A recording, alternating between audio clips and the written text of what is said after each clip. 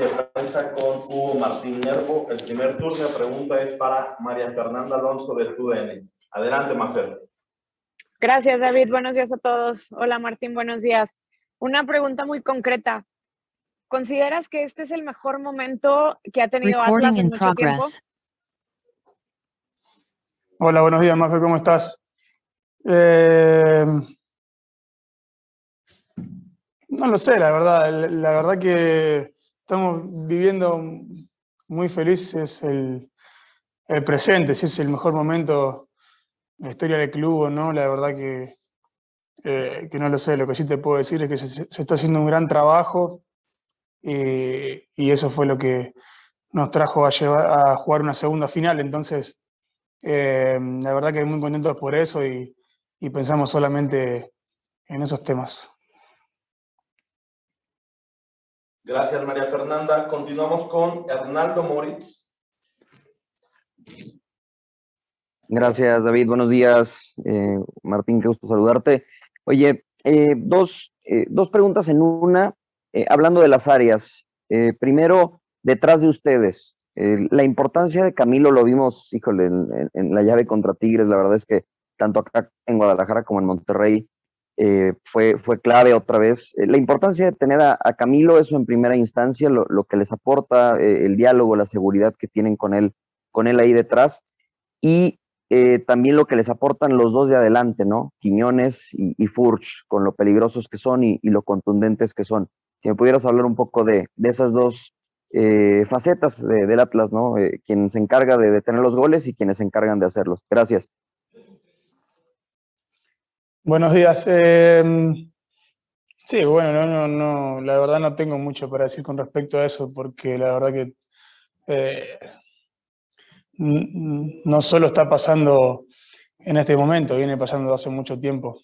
la figura de Camilo, la figura de, tanto Julián como, eh, como Julio, todo, todos saben lo que representan para el equipo, entonces eh, la verdad no tengo mucho que decir al respecto. Sí, obviamente desde, mi zona, de la zona defensiva, obviamente eh, se juega con mucho más tranquilidad cuando, cuando tenés un portero como, como Camilo y como voy a decir, la comunicación que tenemos ahí dentro del campo. Y desde mi perspectiva hacia adelante, eh, verlo jugar a Julio y a Julián cuando se juntan y cuando hacen jugadas entre ellos es un, es un placer, la verdad, ver, ver esa clase de jugadores. Entonces, eh, sinceramente no tengo, no, tengo más que palabras de, de agradecimientos para ellos por, por, todo lo que hacen por, por el grupo, por el equipo y por lo que dan dentro de la cancha. Pero también, también el resto de, de mis compañeros son, son importantísimos en todos los sentidos, tanto dentro como fuera de la cancha. Los chicos que por ahí no, no vienen jugando, creo que son los que los que más están tirando para adelante en estos momentos, los que, los que más apoyan, los que no nos dejan caer en, ciertas circunstancias y los que están ahí en el día a día eh, alentando y, queriendo estar en el 11 para, para poder dar lo mejor de ellos. Entonces creo que eh, si bien la figura de esos tres jugadores que me acabas de nombrar eh, es muy importante, el resto del equipo también lo es. Muchas gracias. Gracias, Hernando, por tu pregunta. Continuamos con eh, Omar Villarreal de TV Azteca.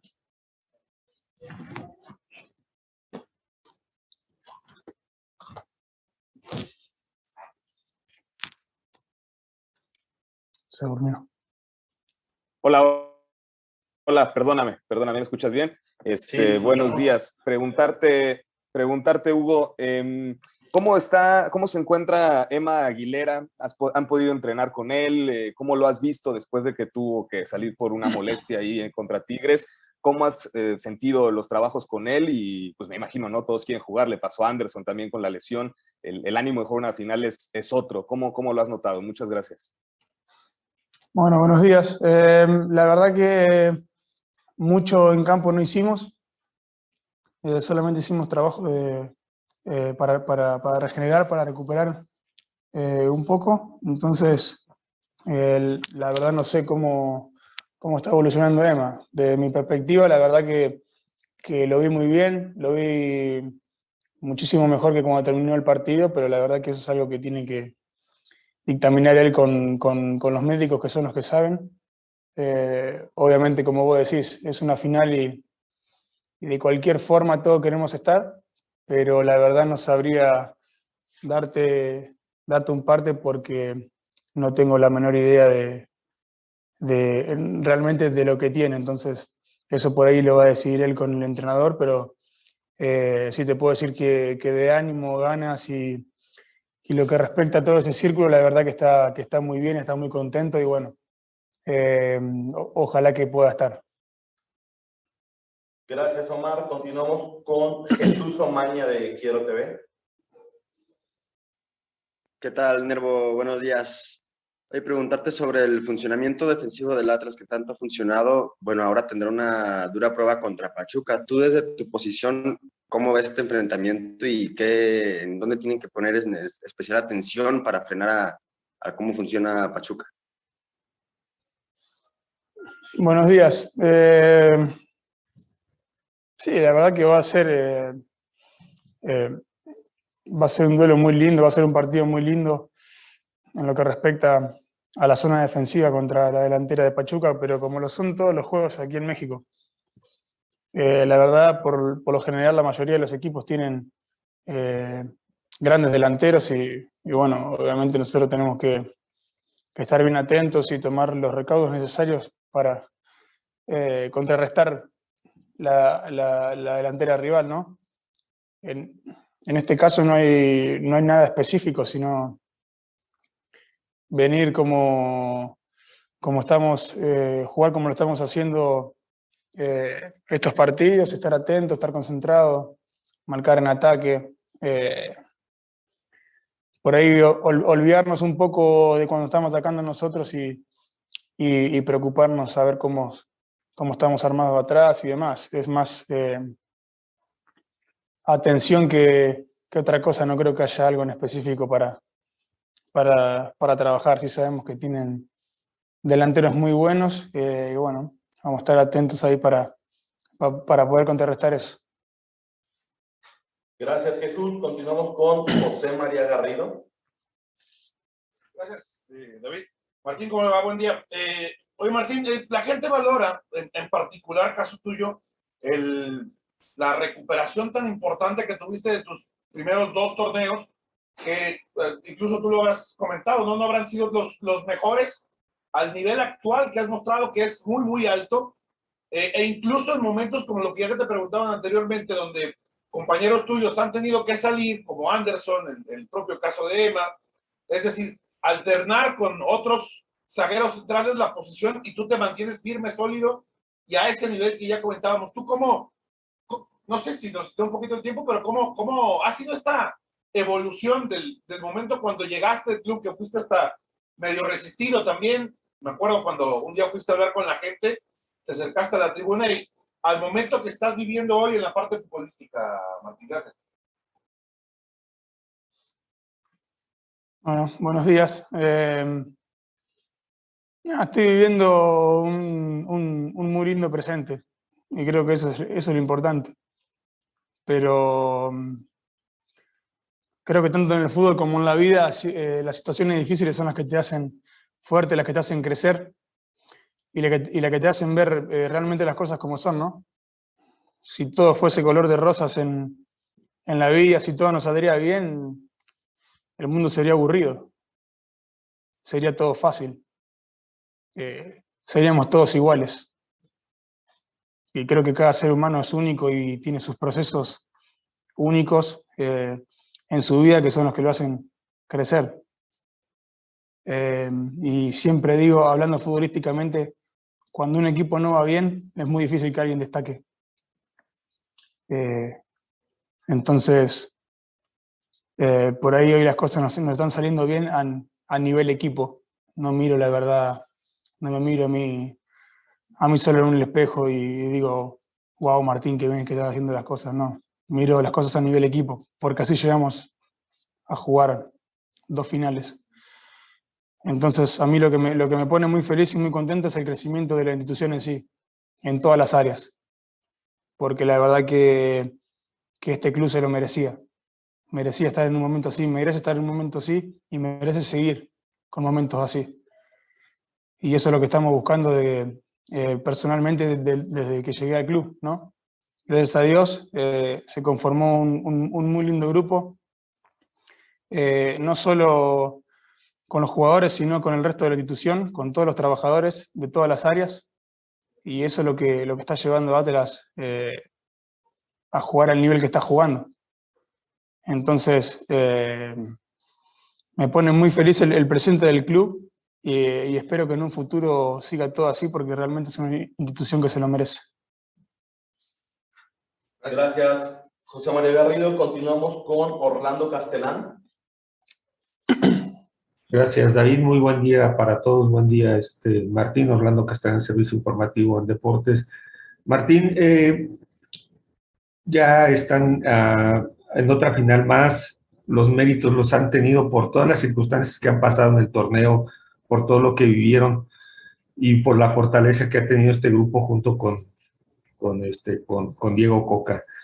Hoy esa fortaleza es más la que les va a llevar a, a, obtener ese ansiado bicampeonato, más allá de que la serie es muy pareja, porque las estadísticas hoy en día pues marcan a los dos equipos muy parejos en muchas cosas, eh, con jóvenes de cantera y toda esa parte para ustedes hay un poco más de presión por ser el campeón, de querer sacar esa, esa serie, más allá de que la vuelta la van a cerrar en, este, fuera de casa. ¿Qué tiene que hacer hoy en día Atlas para poder llevarse ese bicampeonato ansioso que han querido y que han demostrado durante el campeonato del buen fútbol, junto con Pachuca, el buen fútbol que han tenido durante el campeonato? Bueno, buenos días. Eh, la verdad, presión no. No tenemos presión nosotros. Al contrario, disfrutamos. Disfrutamos del momento, disfrutamos de lo que hacemos. Disfrutamos de jugar otra final eh, bien merecida que tiene este, este grupo. Eh, ¿Y qué tenemos que hacer? La verdad, tenemos que seguir como, como estamos. Es como bien, bien lo dijiste vos, la fortaleza de este grupo fue lo que, fue lo, que lo llevó a jugar esta segunda final. Eh, entonces, eh, tenemos que seguir con esa fortaleza grupal, pase lo que pase. Eh, pase lo que pase, tenemos que estar unidos hasta el final, como lo hicimos el otro día. Entonces, sabemos que hay dos resultados posibles en una final y nosotros vamos, vamos, a ir por, vamos a ir por uno de esos resultados. Eso está claro. Está claro que queremos eh, seguir haciendo crecer a esta institución lo más que se pueda. Queremos seguir dándole campeonatos, pero estamos muy tranquilos. Sabemos que tenemos un, un, rival muy, eh, muy digno enfrente, con muy buenos jugadores, con un gran cuerpo técnico. Entonces, eh, tenemos que estar tranquilos y afrontar la final como afrontamos la final del torneo pasado y como, y como venimos afrontando todos los partidos de, de este semestre, con esa fortaleza grupal, dándolo todo hasta el final y bueno, después el, resultado Dios dirá. Gracias, Orlando. Continuamos con Javier Robles. Muchas gracias. Martín, buenos días. Qué gusto saludarte. Oye, simplemente quiero saber qué, cuál ha sido la clave para que este Atlas eh, junto contigo, lo que sucedió también, que estaba el torneo pasado Jesús Angulo, ahora está Anderson, está Emanuel, ha estado el Hueso Reyes también como, como un central. ¿Cuál ha sido la clave para que Atlas se mantenga eh, como una de las mejores defensas sin importar el jugador que esté en esas líneas? Buenos días. Creo que, que la clave es, es, el trabajo. Eh, venimos trabajando eh, hace mucho tiempo la parte, la parte defensiva con Diego. Eh, es, eh, es un entrenador que apunta mucho a, la parte defensiva. Bueno, él, él, también fue defensa, entonces por ahí le gusta mucho entrenar esa parte. nosotros la verdad que estamos preparados para, para que juegue cualquiera, esa, esa es la realidad. Gracias a Dios hay un grupo muy, muy competitivo, una, una competencia interna muy, muy sana eh, y eso hace que, que ninguno se relaje. Eh, creo que eso es uno, uno, uno, de los puntos claves, por eso como vos bien decís, al que le toque jugar eh, lo hace al máximo de su nivel, por, por, el trabajo, por la entrega, por el sacrificio que, que hacemos todos los, todos los días entrenando esa parte, por ahí sabemos que no, no es la parte más, más linda del fútbol, pero, pero, sí, pero sí es muy importante. Entonces, le, le tomamos mucho valor y, y, trabajamos mucho para, para que el margen de error sea cada vez más chico. Gracias, Javier. Continuamos con Juan Manuel Figueroa. Muchas gracias, David. Buenos días, eh, Martín. Eh, saludos. Oye, Martín, el torneo pasado el Atlas llegaba como víctima, ¿no? O sea, un, equipo que tenía 70 años sin, sin, ser campeón, eh, desde el 99 no jugaba una final, eh, pero ahora este Atlas llega campeón, llega con incluso con, chavos como Jeremy, eh, siendo importantes, ¿no? En el momento final lo vimos contra Chivas, con un Quiñones que está, digo, no tengo que decir lo que está haciendo Quiñones en la cancha, Julio también está jugando muy bien, ustedes en la defensa. ¿Qué tan diferente o qué tan distinto, qué tan experimentado ves a este Atlas? a comparación al del torneo pasado que jugó la final contra León, al que va a jugar esta final con Pachuca. Gracias. Buenos días. Bueno, eh, es, es, es, lindo cuando un grupo se, se acostumbra a jugar esta, estas fases finales, ¿no? Y eso es lo que estamos eh, intentando inculcar en el club. Eh, jugar jugar al, al, nivel que estamos jugando de, e intentar jugar siempre estas fases finales, eh, en la medida que se pueda. Eh, ¿Qué tan experimentado? La verdad que, la verdad que no sé, hay jugadores con, mucha experiencia en el plantel, que, que, no solo aquí, sino también han jugado muchas finales en otros clubes. Pero sí te puedo decir que, que las ganas son las mismas, que la ilusión es la misma y que la entrega de este equipo es la misma que el semestre pasado y, que el anterior y, y, que siempre que se haya conformado este, este equipo. Entonces eso creo que es lo que nos trajo a jugar esta segunda final en un año. Eh, esas ganas, esa, esa, emoción de cada partido, esa alegría de cada partido. Entonces, eh, la experiencia la trae cada, cada, cada jugador a nivel individual con, con, el correr de los años. Pero lo importante aquí en el club es a nivel, a nivel grupal, que fue lo que nos trajo hasta aquí. Y te puedo decir que a nivel grupal eh, la ilusión que hay es muy grande y la entrega de este equipo es muy grande. Por eso, por eso estamos jugando otra, otra vez esta, esta final. Gracias, Juan Manuel. Vamos con la última pregunta. Diego Ibey, adelante. Gracias, David. Buenos días, Nervo. Oye, ya hablaste de cómo está Atlas, la mentalidad de los compañeros, pero te quiero preguntar por lo que sucedió en Nuevo León. Eh, recordando el duelo en el volcán ante Tigres, en el momento que ya iban perdiendo con la diferencia de goles que los dejaba fuera del torneo, ¿qué pasaba por tu mente en la de tus compañeros, agregando el ambiente que había en el estadio de Tigres? Buenos días. Eh, la verdad fue, fue algo que que charlé con Aldo después del partido, que por ahí no nos damos cuenta de muchas cosas y de muchas enseñanzas que nos dejó ese partido, pero muchas enseñanzas positivas sobre todo, porque cuando por ahí, como, como bien decís, eh, nos habían dado vuelta la serie, eh, ningún compañero eh, tuvo un reproche para otro, ninguno le, le levantó la mano a otro eh, ninguno se quiso salvar solo, eh, todo lo contrario. Por eso hablo de la fortaleza de este grupo, porque lo único que dijimos, nos miramos y, dijimos juntos hasta el final, pase lo que pase. Y el equipo siguió buscando y siguió buscando y siguió buscando. Por ahí ya hasta con, hasta con cierto desorden, pero, pero nunca dejamos de intentar ir a buscar ese, ese gol que nos faltaba para pasar a la final. Y, la verdad que después del partido me, lo puse a pensar y se lo, y, se lo comenté a Aldo porque es algo que por ahí muchas veces dejamos pasar en el fútbol por, por, por, la euforia de los partidos, de los resultados, pero que en definitiva es lo que te llevan a, a lograr los, las grandes cosas, los grandes momentos.